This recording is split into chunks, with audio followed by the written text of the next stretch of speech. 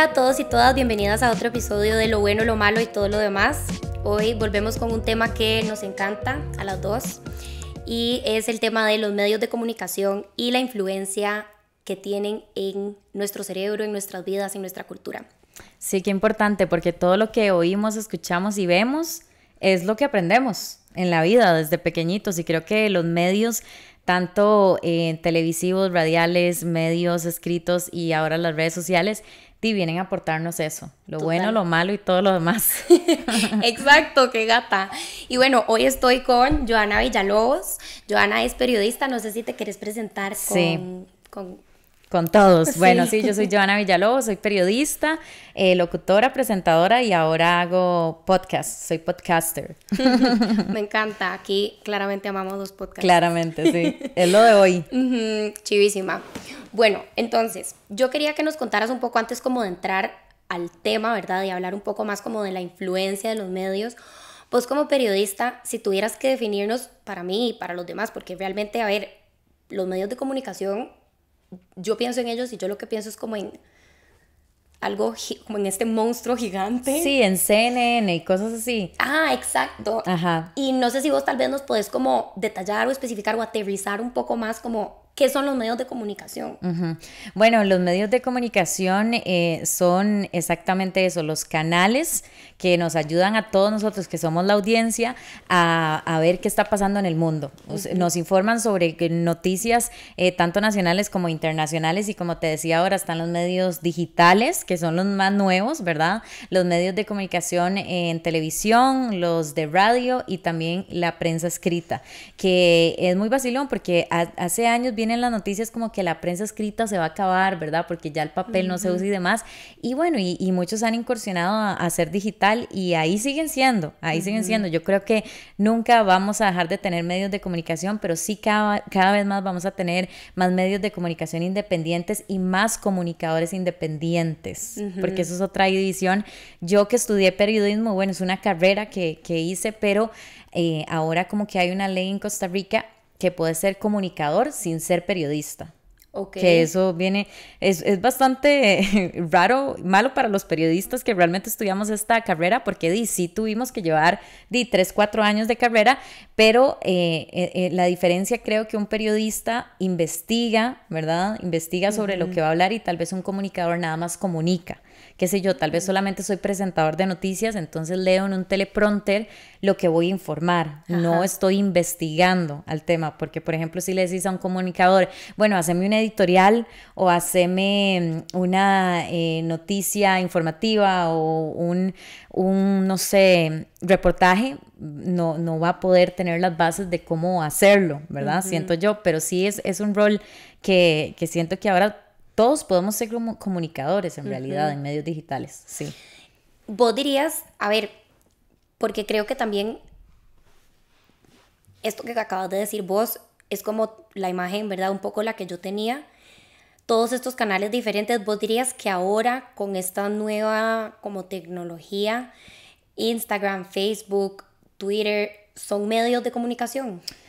Ok, creo que sí son medios de comunicación porque de alguna u otra forma nos están informando lo que muchos están informando, pero sí siento que estos nuevos medios de comunicación digitales se prestaron demasiado al fake news. ¿Verdad? Entonces, por ejemplo, antes veíamos, era muy difícil que un medio de comunicación tradicional, qué sé yo, los ticos Teletica Repretel, sacaran un fake news. O sea, era muy difícil porque de verdad era algo que, que si vas a decir al mediodía, eso tiene que pasar. Pero ahora con Facebook y redes sociales es más fácil porque la información es más volátil. Entonces a alguien se le puede ir que, que, nos, algo que no sucedió y que apenas es un rumor y lo publican y ya ahí viene a ser eh, peligroso, ¿verdad? Que es lo que yo siento con los medios nuevos y digitales.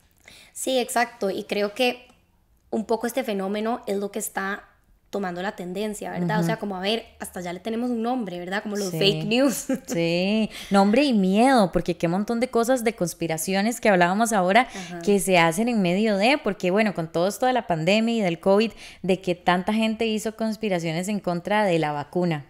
Por ejemplo, ajá. Por ejemplo, qué, qué tan delicado esa información, ¿verdad? Porque di, tal vez eh, yo no sé nada, yo no sé nada de nada de lo que no sé nada de la vacuna, no he investigado, no he, buscado fuentes realmente y me informo en Facebook y Facebook lo que me dice es que si me pongo esta vacuna me puede dar una enfermedad. Entonces, ¿en cómo nos estamos informando, verdad? es, muy delicado el tema. Ajá, o me van a meter un chip, ¿verdad? O sea, como que, y yo creo que esto pega o da como, o sea, da en el punto perfecto de cómo la psicología o la, ¿verdad? Bueno, es que la psicología realmente está en absolutamente todo en lo que el ser humano esté involucrado, ¿verdad? Pero em, cómo se ve la psicología ahí, porque realmente los medios de comunicación son como y bueno, corrígeme si no, ¿verdad? Pero son como esta vía para poder influenciar, para, por no decir manipular, a alguien o a las masas a pensar de cierta manera o en contra. Claro, claro. Y vos como eh, psicóloga te pregunto vos, ¿cómo, ¿cómo sentís ese, ese tema? Porque qué choque más difícil. Por eso te digo, si yo soy una persona que no ve televisión, que no lee un periódico y me estoy informando simplemente con Facebook y veo que me están diciendo que me, voy a, me van a meter un chip por una vacuna contra el COVID. Y, y, eso es lo que yo pienso y percibo porque es como me informé y llega alguien más y me dice, mira, esto no es así. como, como psicóloga también, ¿verdad? Debe, ser di, un choque para la persona que está consumiendo todo esto. Sí, de, o sea, es una, es una torta, realmente es un problema grande porque el cerebro humano no está diseñado, no está hecho para recibir la cantidad de información que recibe en, el día a día hoy en día, ¿verdad? Entonces, a mí me acuerda un montón un libro que yo no sé si, si ustedes lo leyeron, yo lo leí en el cole, se llama Un Mundo Feliz de Aldous Huxley. Y básicamente lo que el libro hace es, o sea, lo que el libro habla es, es como esta distopia, esta sociedad en el futuro humana en donde el gobierno lo que hizo para controlar a, sus, a su gente fue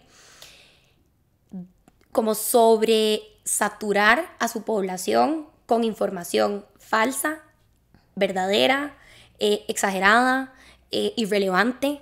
O sea, como todo tipo de información y sobresaturó a las personas. Entonces llegó el punto, y a ver, no estoy diciendo que esto es lo que está pasando, pero me recuerda eso porque llegó el punto en donde lo que pasó en esa sociedad es que había tanta información, estaban tan sobreestimulados de información que lo que escogían era desconectarse. O sea, como el mismo gobierno entonces les daba como unas pastillitas de colores que lo que hacían era como, como, como sedarlos porque era tanto como el, el, ruido, el sonido, la molestia de estar siempre bombardeados de información y no saber qué era verdad o no, que la gente prefería como ya no me importa, sea, me voy a retirar de esto. Qué miedo, sí. Y, mm, a ver, ese libro lo escribieron, este señor lo escribió como en 1940, ¿verdad? Lo cual es todavía como más loco, porque mm, es como un poco lo opuesto de lo que a veces la gente piensa, ¿verdad? Como es que nos quieren controlar con una manera de pensar, bueno, yo no sé si nos quieren controlar o no, ¿verdad? Pero sí siento que hay, o sí pienso que hay un fenómeno que se está dando que no, hay una no está habiendo una regulación de la información suficiente y eso nos está llevando a que estemos mal informados o informados por personas que no saben realmente del tema. Claro. O que es lo que yo creo que está pasando tal vez con, con el tema, digamos, de las vacunas o con muchos temas de conspiración, que es como convierten opiniones personales en hechos. Exacto. Eso que decís me llama mucho la atención de que no nos estamos informando o tal vez no nos están dando la información más eh, relevante, importante, porque ahora me preguntabas, estos medios de comunicación y quiénes son comunicadores, si nos metemos un poquito más escarbando, inclusive hasta los influencers vienen a ser un medio de comunicación. Total. Entonces últimamente he visto noticias y he visto gente quejándose de que, por ejemplo, hay personas que no son nutricionistas o que hay nutricionistas que están dando información, como esta última noticia que vi hoy, de hecho, de Kim Kardashian, de que tuvo que adelgazar no sé cuántos kilos para ponerse un vestido de Marilyn Monroe hace poquito en, la Met, Gala. Entonces, eh, estaba viendo tanto contenido en TikTok relevante a esta situación que yo decía, como que mismas nutricionistas o mismas chicas que no son nutricionistas, no tienen nada que ver con la salud, nos estaban diciendo cuál era la dieta que esta mujer había hecho para adelgazar en una semana 7 kilos, mae. Y tenía un montón, un montón de alcance, un montón de chicas, lo voy a probar, lo voy a probar. Y es ahí donde yo digo, puña, los medios nuevos, digitales, los influencers y todo, di, han provocado también una desinformación muy grande. Exacto. No, y eso que, está, eso que estás diciendo vos pasa yo creo que en muchos ámbitos, digamos, a nivel de psicología, vos no sabes la cantidad de personas que yo he visto en redes sociales en Costa Rica que no son psicólogos o psicólogas de profesión. Que se llaman coaches. Ajá, que dicen que son, ¿verdad? Sí, los famosos coaches o que literalmente están dando terapia. O sea, literalmente se ponen terapeuta tal. O más heavy todavía, ¿verdad? O sea, yo he visto personas que no los estoy molestando, o sea, estudiaron ingeniería industrial y están recibiendo clientes para tratar una depresión. Wow, Qué heavy, man. Qué heavy. Y, sí, muy triste. Sí, y es como, a ver, más, más que triste, es como peligroso. Es joder a la población, man. Es joder a la población. Es muy peligroso. O sea, si, si ya con personas que están formadas en psicología, ya hay personas que se jalan tortas. Sí. Sí, sí, sí. con la formación que se lleva, etcétera, etcétera. ¿Verdad? O sea, estas personas no se están dando cuenta de la responsabilidad de, lo mal que están haciendo. Y el enredo legal en el que se podrían meter si su cliente le va mal y decide demandar. O sea, están jodidos de por vida porque están haciendo un mal, o sea, están, están... O sea, es como que yo de la nada me despierte mañana y yo diga, di, yo quiero operar. Quiero ser cirujana. Voy a llevar un curso de siete semanas de cirugía y voy a ponerme a abrir gente. O sea, sí, es como que yo me ponga a decir en mi Instagram, hey, maestra, adelgacé cuatro kilos comiendo tomate todo el día, les voy a pasar la receta para, o sea... No. Es una irresponsabilidad muy grande. También recuerdo un escándalo que se dio aquí de una chica influencer que tenía un montón de seguidores que empezó a vender pastillas para adelgazar, quemagrasa, no sé qué diablos era. Mae, salió en repretel en telenoticias en todo lado porque resulta que las pastillas ni siquiera habían sido avaladas por el Ministerio de Salud y causaban un peligro a la salud. Y pues la muchacha había vendido un montón de pastillas, todo el mundo quejándose y fue un desastre y eso pasó hace nada, hace uno o dos años. Wow, esa historia no me la sabía. Pero ves, digamos, yo creo que esos ejemplos son ejemplos como que ilustran muy bien algo que pasa a un nivel tal vez como más abstracto con, la, con la información y los medios de comunicación, ¿verdad? O sea, es como, ¿quién me está reportando la información, o sea, ¿a quién le estoy leyendo yo esta noticia? Se la estoy leyendo, digamos, o sea, estoy yendo al nutricionista para cuidar mi nutrición o estoy yendo a donde alguien que quiere ser nutricionista, pero nada más está, como decís vos, diciendo que coma tomate por dos semanas, ¿verdad? Y yo creo que pasa lo mismo. Y lo que me sirve a mí no te sirve a vos, es que ese es el problema, porque a veces hay muchachas o muchachos que super fits y que uno dice, madre, sí, un cuerpazo, todo, y te está dando consejos de salud con base a lo que su propio cuerpo está teniendo resultados. y no es posible que uno recomiende lo que a mí me funciona. A mí me puede funcionar el bloqueador solar que es en aceite, pero tal vez a no, te va a generar acné. Entonces, es una línea muy delgada y una responsabilidad grande. Siempre he dicho que es mucha responsabilidad tener una red social o un medio de comunicación en el que uno diga cualquier cosa porque se puede meter en un problema. Sí, total. Y porque también, sí, eso que decís vos, es una responsabilidad. Entonces, como pasando ese ejemplo a lo de las vacunas, ¿verdad? Es como, si vos querés creer, vos como persona, que las vacunas no sirven, que no son buenas, que em, lo que sea, te van a meter un chip, ok, toma decisiones para tu cuerpo, ¿verdad? O sea, vos con vos, pero no escribas una nota en un medio de comunicación de Facebook y lo, ¿verdad? Y lo divulgues como si fuera una noticia. Una realidad. Sí, no trates de, de, de como no sé, forzar eso en tus hijos o en, ¿verdad? No sé, en los hijos de alguien más o en la, en la demás población, porque ¿de dónde estás hablando? O sea, ¿cuál es tu fundamento? ¿Verdad? Vos sos un experto, o sea, has llevado a cabo la investigación, como que, no sé, es una línea muy fina. Es una línea muy delgada y yo creo que la responsabilidad viene en cada uno de nosotros, en saber qué estoy leyendo, en saber qué medios estoy siguiendo, en saber de dónde me estoy informando, porque A ver, mucha gente sí, con esto de la conspiración de las vacunas, que decían, no, no me voy a vacunar por tal cosa, di, uno puede escuchar a alguien diciendo eso y uno mismo introspectivamente decir, este más un idiota, no sabe ni lo que está diciendo. Pero es responsabilidad de cada uno, personal, como vos decís, ma, informarse y saber de dónde estoy adquiriendo esto, si realmente el medio es un medio di, que tiene fuentes, buenas fuentes para estarme diciendo lo que debería ser, ¿verdad? Sí, y yo creo que, a ver, tal vez como lo que más ha, no sé, como impulsado, sí, tal vez impulsado este fenómeno como, ¿verdad? Como de donde ya los medios no se saben qué creer y la gente está súper influenciada como colectivamente en que, ¿verdad? No sé, nos están queriendo controlar o lo que sea. Yo creo que también viene un poco por que los medios de cierta manera tampoco han sido honestos en el pasado.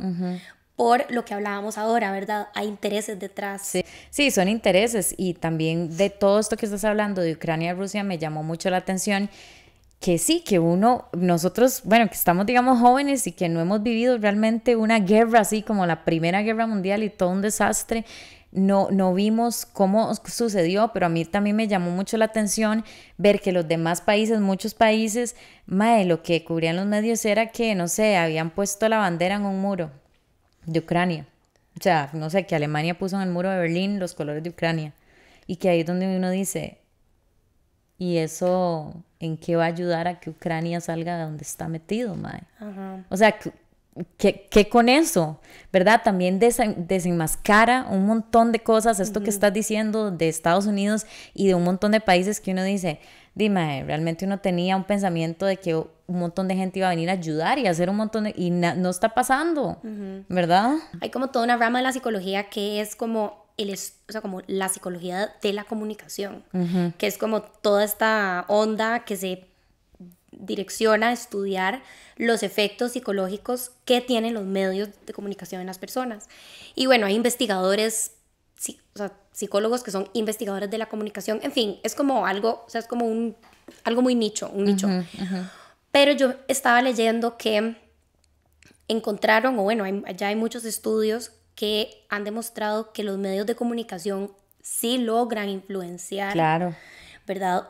La, los valores colectivos, las preferencias y que inclusive, digamos, si vos en un medio de comunicación y en representaciones de comunicación, por ejemplo, películas, series, eh, programas de radio, etcétera, etcétera, ¿verdad? Empezás a tocar un tema que tal vez la gente no está de acuerdo, ¿verdad? O, o, tiene como mucha aversión o lo que sea, o hay mucha resistencia. Si vos lo tocas y lo tocas y lo tocas y lo presentás una y otra vez, eventualmente logras que más, de un, que más de un 80% de esas personas cambien su opinión al respecto. Sin duda, y eso lo veo en estas elecciones que acaban de pasar con Rodrigo Chávez. Por ejemplo, no mucha gente sabía sobre Rodrigo Chávez y creo que se le hizo se le sacó tanta campaña de que sí, de que las denuncias de acoso, que este madre tiene esto, que este madre tiene el otro, y que uno decía, dime, con toda esta hora que le están sacando a este madre, manda huevo que alguien esté al lado de él. Y más, es el presidente de Costa Rica. Entonces hay evidencia que hoy en día, sea la publicidad que se le dé a cualquier persona, sea buena o mala, mae, es publicidad. Y es durísimo. Porque di, si le estamos dando publicidad a un mae que es un patán eh, o una huila que está haciendo muy mal las cosas, que no está promoviendo nada bueno, di, pero igual está ganando popularidad. Entonces, puña, ¿cómo paramos esto? Bueno, es que yo creo que es un tema, o sea, y ahí ya es un tema súper social, porque para mí, el o sea, Rodrigo Chávez es un reflejo, o sea, el hecho de que Rodrigo Chávez haya llegado al poder es un reflejo de los valores que la sociedad costarricense tiene a la fecha. ¿Verdad? es como una pintura, por así decirlo, una representación. Un reflejo. Sí, de, digamos, em, obviamente no de, de, todas las personas, pero sí, digamos, como de la mayoría, cuáles, cuáles, cuáles son los valores de la mayoría, qué, es la, qué, qué, a qué le da importancia a la mayoría de las personas, etcétera, en todo sentido. De acuerdo. Entonces, es algo como que es todavía va mucho más hacia la raíz, ¿verdad? Si nosotros fuéramos una sociedad que, por ejemplo, O sea, imaginémonos hipotéticamente, ¿verdad? Que realmente las mujeres... Em, Tuvieran mucho respeto, como por ejemplo si decimos Angela Merkel en Alemania. Exacto, ¿verdad? O sea, que no existiera tal vez una sociedad tan machista como, como todavía existe hoy en, en, Latinoamérica en general y en muchos países del mundo, ¿verdad? Muy probablemente un candidato como Rodrigo Chávez no hubiera llegado al poder porque la gente hubiera dicho como, mi corazón no está ahí, o sea, mis valores no están ahí. No me representa. Y yo no me veo reflejado o reflejada en esa persona. Totalmente, sí. Entonces, yo creo que por ahí va el tema y a ver, y es como este feedback, es como este ciclo que se retroalimenta, ¿verdad? Porque obviamente, a ver, el que nosotros hayamos escogido como país a Rodrigo Chávez como presidente, ¿verdad? Dice mucho, dice, habla sobre la sociedad costarricense, no lo podemos negar, o sea, aunque, no nos, que no nos guste escucharlo, aunque haya gente que en los comentarios nos va a salir diciendo, que yo te Rodrigo por la economía, o sea, no, usted también sabe, ¿verdad? O sea, sí, a usted también le importó un carajo, Mae, eh, habla mucho de la raíz eh, costarricense y todos sabemos que claramente la economía es fundamental en Costa Rica ahorita. Y obviamente había que irnos por alguien que, que supiera y que nosotros creíamos que, pero también de, refleja mucho lo que decís vos. Recuerdo también cuando estuvo Laura Chinchilla que mae, el montón de comentarios machistas cuando hubo la cuestión esta de la que se trataron de meter Nicaragua, no recuerdo exacto la isla, el nombre, que se trataron de meter, mae, y, y, la trataron de que era una idiota, una estúpida, porque no hacía nada, y yo decía, mae, pero la gente que pretende, que Laura Chinchilla se vaya con una escopeta al lugar a, hacer algo, mae. O sea, habla de la idiosincrasia costarricense, mae. Es muy triste y obviamente hay un montón de gente, ¿verdad? Que, oh, y ustedes con Figueres y mae, no es un tema de un lado del otro, es un tema de valores. Igual pienso lo mismo que vos. Sí, exacto. Y a ver, Figueres tampoco era como que la monedita de oro, pero, o sea, punto de aparte, no metamos a Figueres en esta conversación. O sea, el hecho de que Rodrigo Chávez esté electo y también, a ver, yo no sé si, o sea, yo no sé si ustedes se acuerdan cuando Trump quedó la, primera, sí. Sí, la, la, vez que quedó Trump. Ajá. No, Obama fue el que quedó dos veces. Sí, Obama fue el que quedó dos veces, fue Trump una vez, ajá. Ajá. Sí, que también tuvo miles, más de... No sé si vos te acordás que, que subieron, o sea, como que sacaron un reportaje de que los crímenes eh, racistas, o sea, como de... Sí. que de odio, pero como específicamente de xenofobia, xenofobia también. Subieron, porque las personas se veían, digamos, como apoyadas o respaldadas porque su candidato presidencial era una persona abiertamente racista o abiertamente machista o pedófilo. O sea, ahorita pensar y, ponernos nosotros a echarle mala vibra a, que el MAE sea el presidente o no, siento que es pegarnos un balazo nosotros mismos. Yo de verdad espero que el MAE eh, a como quedó, llegue y cambie esa realidad. Porque eso, eso fue un espejo lo que pasó con Trump que nos puede pasar a nosotros, que yo le, he leído varios tweets de personas de que, ahora aquí en Costa Rica va a valer nada el acoso. El acoso va a, a dime, a hacer, no va a valer nada, no va a importar. Entonces esperemos que, que, eso cambie, Mae, que verdad el Mae de ese paso de decir, no, yo voy a cambiar las varas, esperemos. Sí, yo creo que, a ver, no le, no va a ser él, ¿verdad? O sea, creo que es como un trabajo... Sí, en equipo. Sí, del colectivo. La asamblea y todo. Ni siquiera, ni siquiera, o sea, yo, bueno, yo pienso tal vez como más psicólogo, o sea, yo por ser psicóloga no sé si lo pienso como más al nivel como micro, Ajá. pero creo que va a tener que ser un trabajo como de cada persona, de en serio revisarse y decir como, ok, ¿a dónde yo todavía soy como mujer también, machista, a donde todavía soy, eh, como tengo actitudes que pueden ser xenofóbicas o pueden ser discriminatorias, a donde, porque a ver, esto es, o sea, como nos gusta pensar que somos como perfectos y que, ay, nosotros no, ¿verdad? Pero como, como, estábamos hablando, ¿verdad? O sea, crecemos en una sociedad que es así y no nos vamos a ver intocado, intocados o intocadas por eso. Y Alexa, también en, en el sentido de ser y vos decís individuales de revisarnos, también siento que es muy importante revisar nuestro círculo social. Ma, es algo que desde hace unos años para atrás yo he venido constantemente pensando de que obviamente tal vez uno sí, uno, uno está consciente de, mae, yo no voy a hacer ese comentario porque es gordofóbico y no me estoy dando cuenta que es gordofóbico, pero estoy rodeada de compas que pasan en una noche de tomarnos tragos a hacer comentarios xenofóbicos, a hacer comentarios machistas, misógenos y que ahí es donde viene el cambio, mae, y que ahí es donde uno puede hacer, mae, suave un toque, no se dice que la huila, eh, no hay que sexualizar a las huilas, ¿verdad? Y viene el cambio de que uno se cambia a uno, pero cambia también a su entorno, mae. Exacto, o también de cambiar de gente, ¿verdad? O sea, también, sí. Uno a veces como que se da la tarea o uno cae como en el error de querer como enseñarle a la gente. Sí, o, ese es otro error, es cierto. Sí. sí. es cierto, porque a veces hasta uno cae mal o pierde batallas. Uno se cansa, es muy cansado estar batallando. Eh, yo estuve en un programa de radio en, en las mañanas Mae, que tenía un público bastante difícil y que yo luchaba constantemente diciendo ese comentario ya no se usa o eso ya no hay que hacer comentarios machistas, ese comentario es homofóbico y que mae, mucha gente lo tiene tan interiorizado que no ve más allá, no logran cambiarlo, no logran cambiarlo. Entonces también, puña, ¿hasta qué punto es mejor cambiar a la gente o, o realmente o, o ponerse a pelear porque es cansadísimo?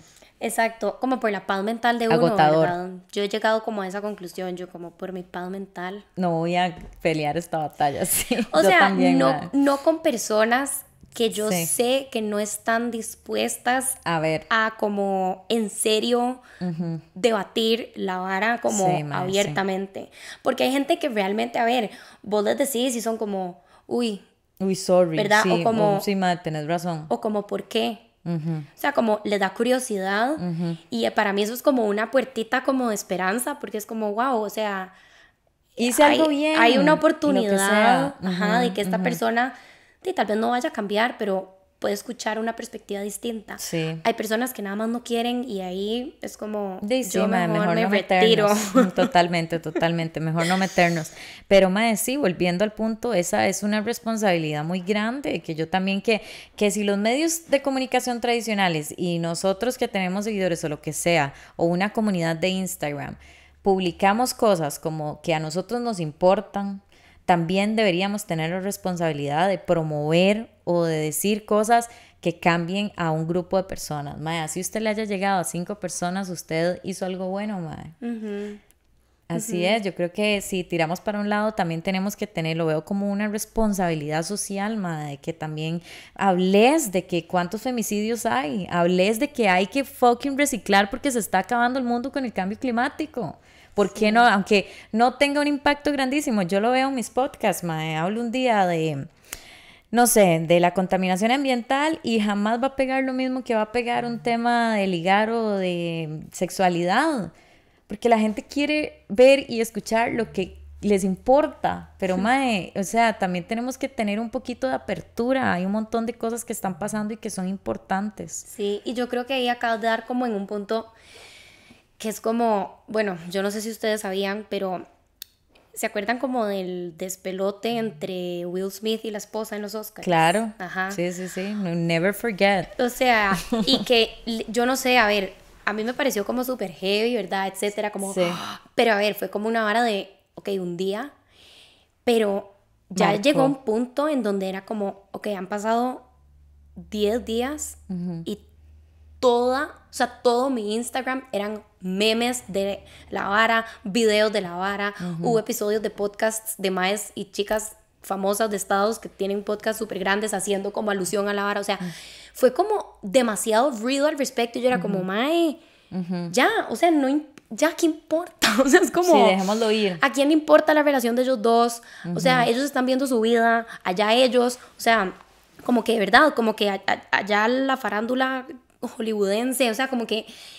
Y por mientras eso estaba pasando, yo me enteré hasta después, ¿verdad? O sea, no crean que es que yo en ese momento sabía, pero yo sí me acuerdo de sentirme como bombardeada por el tema de Will Smith.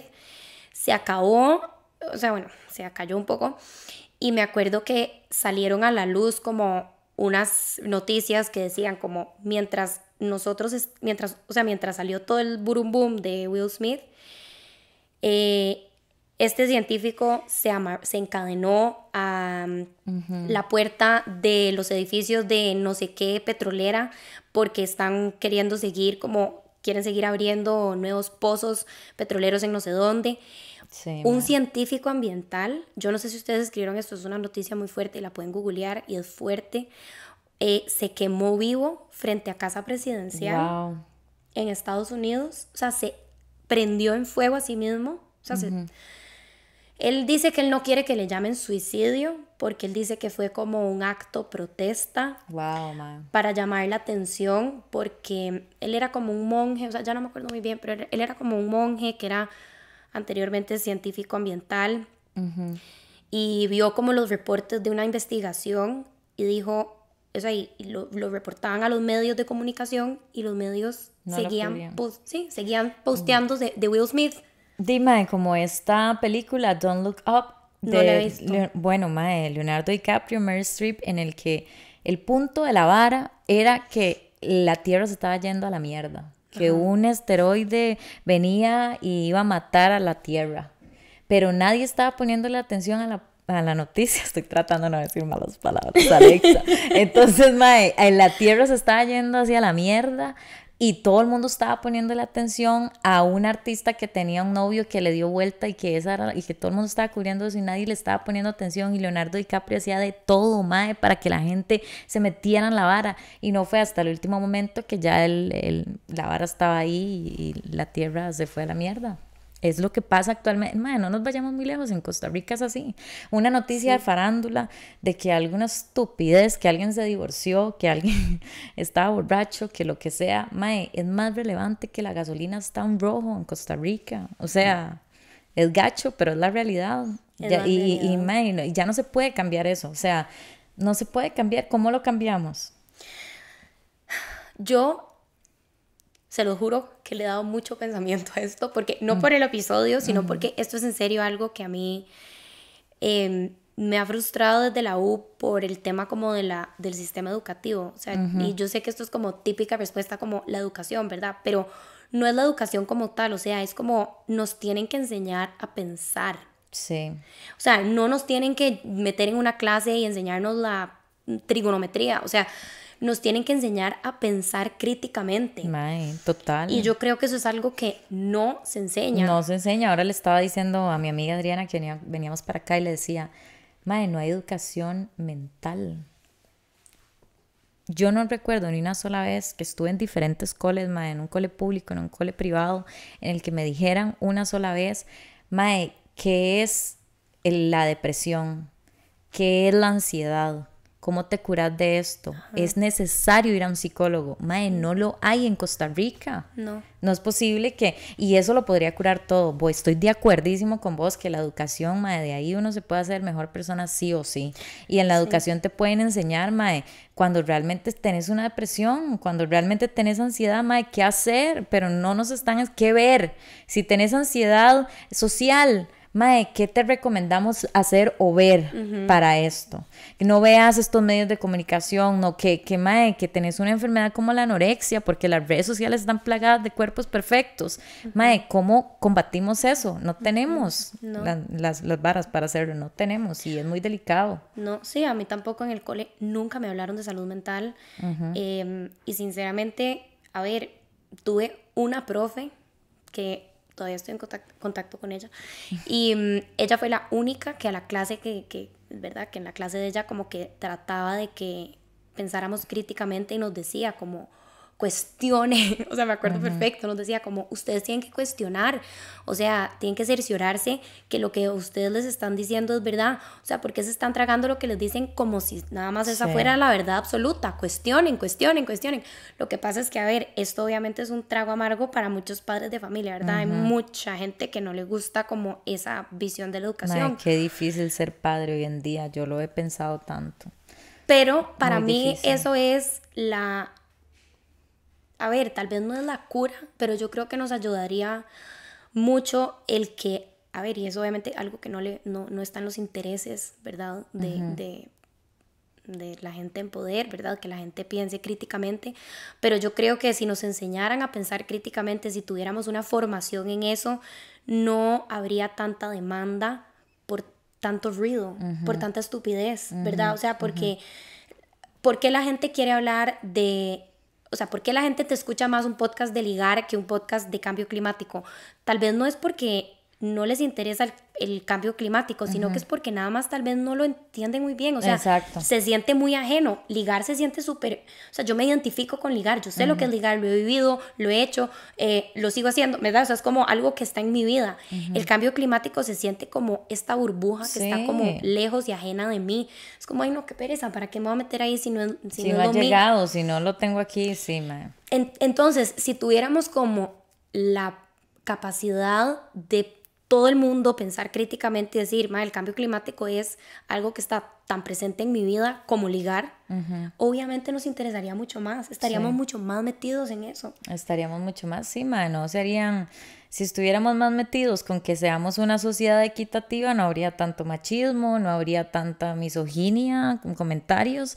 Pero Dima, es una cosa que empieza, eh, igual que vos lo pienso, desde la educación desde la casa, desde en dónde me están metiendo a estudiar, ¿verdad? O sea, yo he visto eh, denuncias hacia colegios de que un profesor está acosando a las estudiantes. ¿Dónde estamos metiendo al, adolescente que tenemos en la casa? ¿O qué le estamos enseñando al chiquito? ¿Qué estamos viendo con él? en tele. Es que, madre, puña, todo, todo entra, por eso digo, los medios de comunicación Sí, o sea, son importantes porque nos dan el panorama nacional y mundial de qué está pasando. Pero creo que ahí viene la responsabilidad de cada uno de nosotros de comprometernos qué estoy consumiendo, mae. Al igual a como nos comprometemos con, bueno, mae, voy a tratar de portarme bien esta semana y comer tuanis y no comer, eh, no sé, comida rápida. Pero dime, eh, veo en todo lado vallas publicitarias de que me cuesta dos rojos comerme un almuerzo. Pero si como bien, me cuesta siete rojos. Entonces, dime, hay que ser responsables con nosotros mismos y decirnos qué estoy realmente consumiendo, qué quiero consumir y qué no quiero ver. Exacto.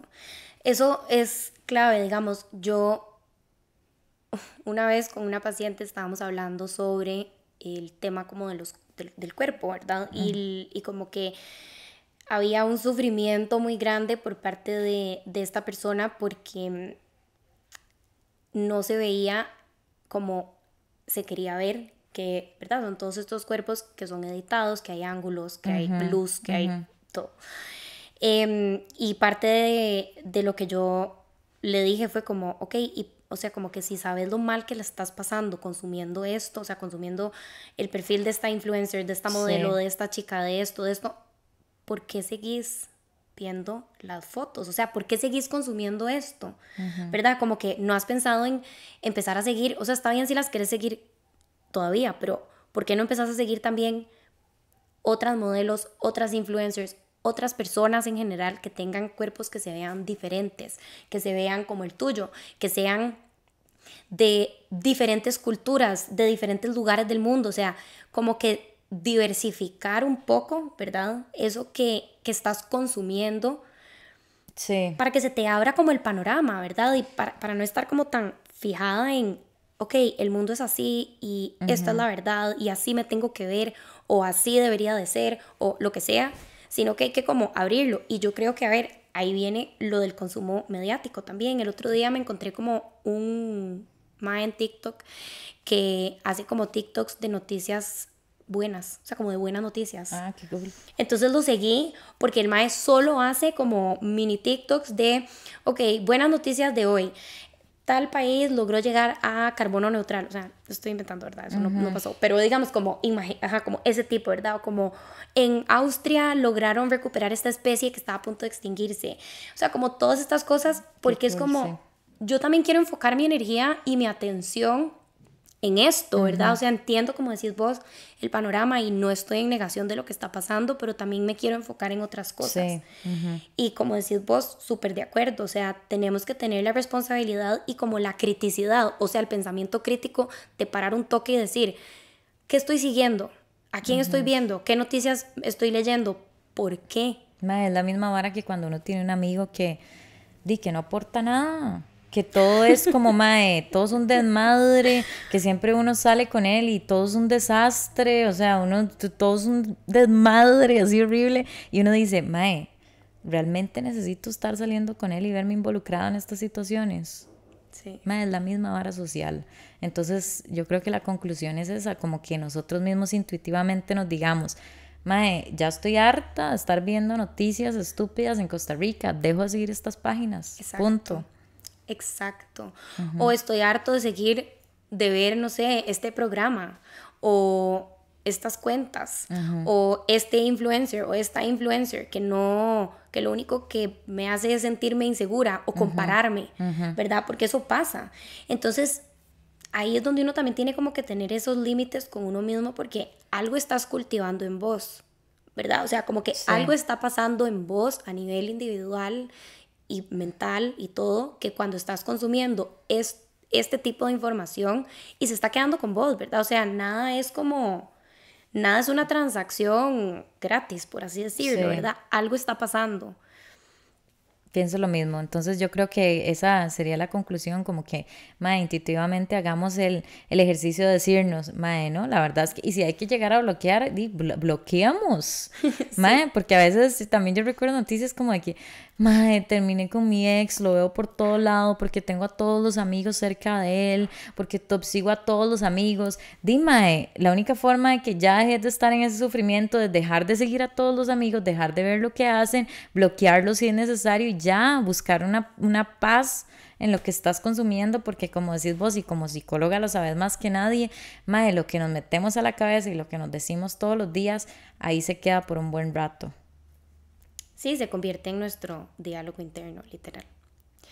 Pero sí, o sea, y creo que también es, o sea, sumando a tu conclusión, es como este pequeño acto de revolución o rebeldía contra de una máquina muy grande, ¿verdad? Máquina le digo yo, ¿verdad? Que son los medios de comunicación masivos, em, ¿verdad? Que tal vez están tratando que consumamos cierto contenido y no quieren que ¿verdad? Como estoy pensando específicamente en el ejemplo de Yemen, ¿verdad? Como, ok, buscar, bueno, ok, ¿qué páginas independientes que no están respondiendo a ciertos intereses puedo yo seguir? Y no significa que tengo que dejar de seguir a estas, digamos, CNN o lo que sea, ¿verdad? Eh, las puedo seguir también, pero ¿cómo hago para encontrar otras páginas, otras fuentes de información de periodismo ético, responsable, independiente, ¿verdad? Que haga que, mi, que la manera en la que me estoy informando sea mucho más completa, mucho más redonda. Completamente de acuerdo, sí. Hay que hacerlo, hay que hacerlo, Mae, porque si no crecemos individualmente, no vamos a crecer como comunidad nunca. Sí. De, de hace poco hablé en un podcast de que si los ticos somos ruchapizos, Mae, lo somos. Sí, es, es, muy triste. Y hasta que no nos demos nosotros conciencia individual de decir, Mae, si yo he actuado de esta forma, y hasta que yo no cambie, no va a cambiar el de la par, Mae. Exacto. Sí. Y como decías vos, llegó para quedarse, ¿verdad? O sea, de nada sirve esperar que esto desaparezca un día para el otro, ¿no? Exacto. Llegó no va a desaparecer, es muy duro, sí. Exacto. Pero bueno, gracias por invitarme a tu podcast. Gracias, Joa, por venir. Disfruté montones de conversar con vos, de tu conocimiento. Yo también igual. y bueno, muchas gracias a todos y a todas ustedes por escuchar. Ya saben, si estos son espacios que les gustan, en donde aprenden, que les generan valor, casi me olvidé la palabra, que les generan valor, nos pueden apoyar de manera gratuita dándole like, comentando, guardando compartiendo en sus grupos de WhatsApp, en sus historias de Instagram y si nos quieren apoyar financieramente también lo pueden hacer a través de www.patreon.com slash no pasa nada oficial. Gracias, nos vemos. Chao.